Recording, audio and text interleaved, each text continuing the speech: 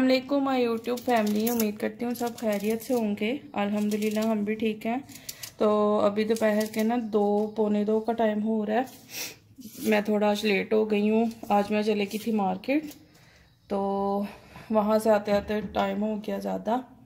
तकरीबन पौने दो हो रहे हैं। तो अब मुझे ये कबाब बनाने थे, क्योंकि अब कल से या परसों से जो रमज़ान स्टार्ट हो जाएँगे तो मैंने सोचा उसके लिए ना कबाब बना के रख दूँ पहले से ही, ताकि ज़रूरत के फिर काम आ जाते हैं वक्त पर। तो अभी मैं बस जल्दी जल्दी ये कबाब चढ़ाने लगी हूँ, ताकि पता नहीं अब ये गैस बंद होने से पहले पहले भान जाएँ। उम्मीद तो है कि हो जाएँगे जल्दी से। बस अब मैं जल्दी जल्दी जो हूँ, इसमें सारे मसाले ऐड करूँगी ताकि इसको जल्दी जल्दी मैं चढ़ा दूँ। क्योंकि पता है आपको, पाकिस्तान में तो गैस के मसले मसाइल ही बहुत हैं। तो अभी ढाई पौने तीन बजे तक गैस जो है वो चले जाती है। तो उससे पहले मैं, ये मेरा रेडी हो जाए मसाला।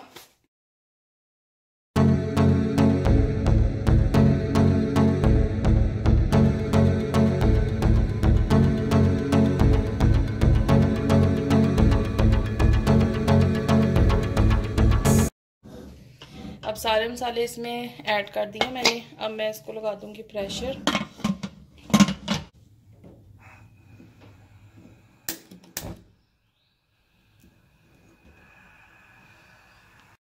तो फाइनली जी हमारा कबाब का मसाला यहाँ पे रेडी हो गया।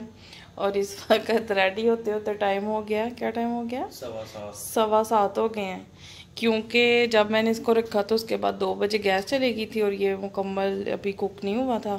तो अब छः बजे गैस आई है तो अब मैंने इसको दोबारा प्रेशर की दिया है इसको और ये बना है, रेडी हुआ है मसाला। तो अब हम इसको इसको बनाएँगे इस पर सिल बट्टे पर।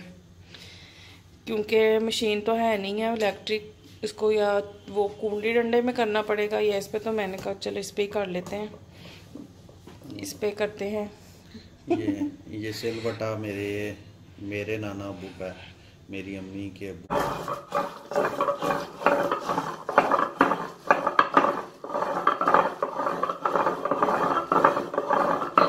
कितनी तेज मिर्च है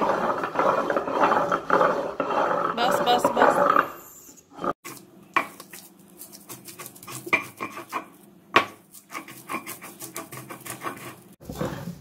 हम दोनों मिलके चला रहे हैं इसको। बारी बारी।